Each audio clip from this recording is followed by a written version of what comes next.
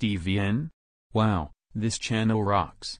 This channel has a lot of good shows, drama, original, and other. I don't know who likes or hates this channel. TVN rocks. And so does AMC. End of salute.